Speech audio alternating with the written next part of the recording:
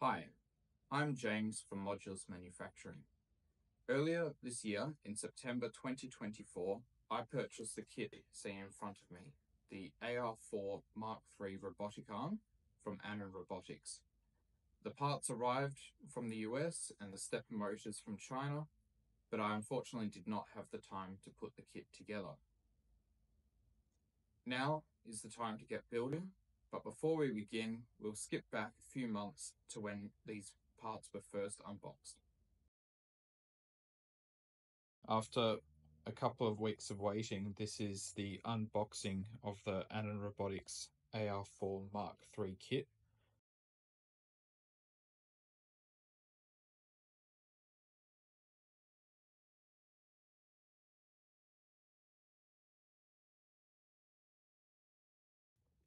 So having cut open the top and opening the box up now, see pretty well packed. So quite a few packing peanuts. Another copy of the receipt of the invoice. And here are all the different components. We've got the servo gripper kit, the electronic kit bag with all of the uh, end stops or limit switches.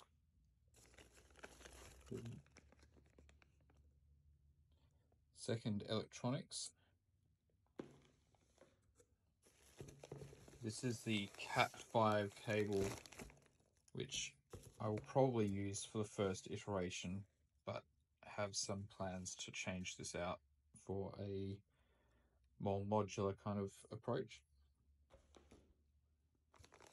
We've got the, these are the heavy components right here.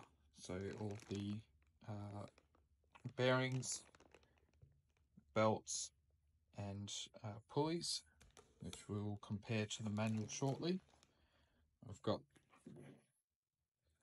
all 250 plus pages of the manual there.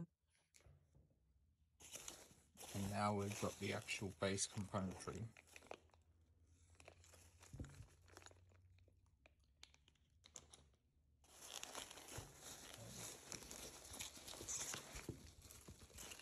Very well packed by Chris. Lots of packing peanuts. And here's the actual base plate, turrets, and other uh, aluminium components.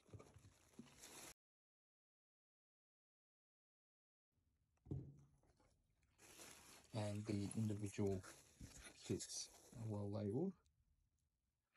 We'll open these up shortly.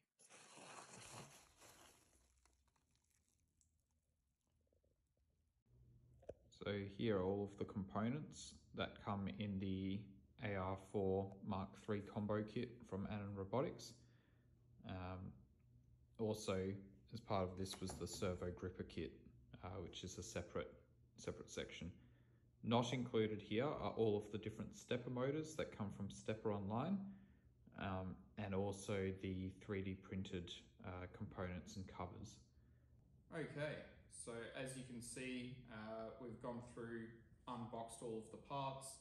This brings us uh, to the present where all of the individual aluminium milled parts have been taken out of the uh, packaging. I've also gone through and labelled a number of the parts to help as we go along the build. And as we progress through the build of the robot arm, we'll look at each individual part as it's assembled. The next video will be on the Stepper Online uh, Stepper Motor Kit, uh, which is shipped and purchased separate from the uh, Annin Robotics mechanical kit itself. After that, we'll look at the 3D printed uh, components and then get into the build itself. So stay tuned. Please like and subscribe to the channel uh, to get updates on this project.